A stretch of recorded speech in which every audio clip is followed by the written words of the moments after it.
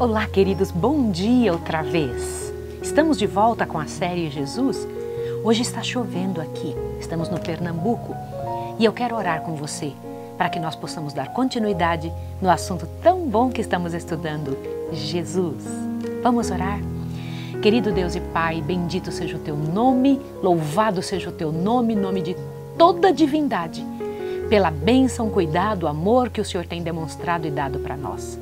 Abençoa-nos agora ao estudar mais esta parte da vida de teu filho e que ao estudarmos, as qualidades dele possam passar para a nossa vida. Em nome de Jesus. Amém. No último episódio, nós vimos que Jesus estava conversando com Nicodemos e disse aquela frase fantástica que está em São João 3,17. Porque Deus enviou seu Filho ao mundo não para que condenasse o mundo, mas para que o mundo fosse salvo por ele. E havíamos dito a você que Jesus não se envolve em condenação. Mas pode ter vindo na sua cabeça a seguinte pergunta: se Jesus não se envolve em condenação, por que milhares, trilhares, uma multidão de pessoas vão se perder? Por que, que é que Jesus veio para salvar e tanta gente vai se perder? O próximo texto explica, o verso 18.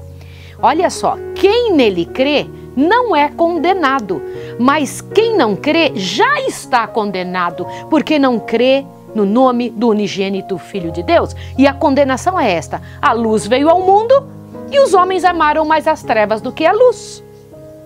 Por quê? Porque as obras deles eram más. Todo aquele que pratica o mal aborrece a luz e não vem para a luz, para que as suas obras sejam reprovadas. Mas quem vive de acordo com a verdade vem para a luz, a fim de que seja claramente, se veja claramente que as suas obras são feitas em Deus. Presta atenção. Naturalmente o homem é condenado. Só podemos deixar de ser condenados com Jesus em nossa vida. Por isso você e eu precisamos aceitar Jesus, porque nossa condição natural é condenação. Nós estávamos condenados já. Quando Jesus vem, ele então faz essa transformação. Eu quero pedir a você hoje que, em nome de Jesus, siga esses passos. Vá até Jesus e pergunta: Senhor, como é me entregar? Senhor, como é fazer esta mudança na minha vida? Como é te aceitar? Aqui então, neste momento, Jesus falou de obras. Às vezes amamos mais as obras das trevas do que as obras da luz. Peça a Deus para que lhe dê esclarecimento para que não aceite as obras das trevas. Você é do Senhor, você não é do inimigo. Portanto, as tuas obras têm que ser feitas em Deus. E as obras que Deus fazendo em você vão ser vistas pelo mundo, serão obras boas.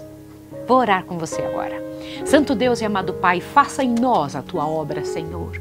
Queremos que o Senhor se revele em nós. Queremos Jesus, queremos sair da condenação para estarmos na aceitação.